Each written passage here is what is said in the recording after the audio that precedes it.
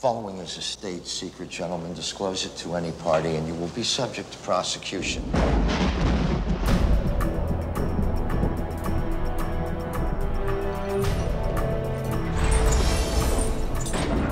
His name is John Mason, British national, incarcerated on Alcatraz in 1962, escaped in 63.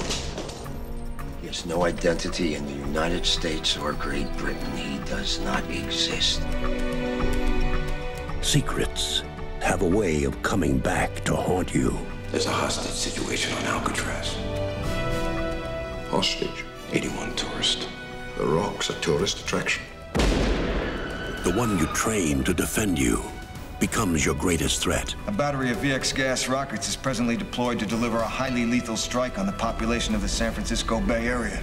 And the one you abandon becomes your only hope. You go talk to him. Me? Yeah. Hiya. I'm an agent with the uh, F- FBI. I'm Stanley Goodspeed. But of course you are. At least he got his name right. Now, all that stands between a city and a disaster The power of this chemical is way beyond anything you can imagine. That's why you're coming with us.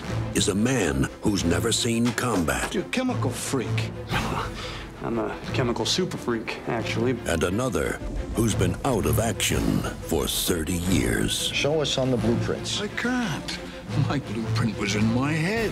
Fortunately, some things you never forget. But don't worry. It'll all come back to me. From Don Simpson and Jerry Bruckheimer and Michael Bay, Welcome to the Rock. We got visitors. Sean Connery, You sure you're ready for this? I'll do my best. Your best. Losers always whine about their best. Yeah. Nicolas Cage, Listen, I'm just a biochemist.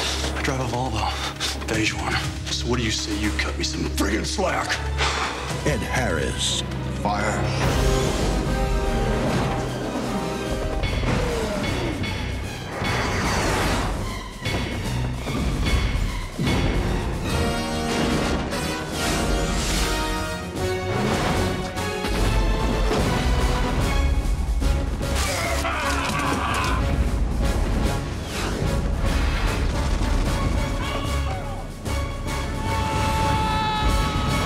Get ready to rock.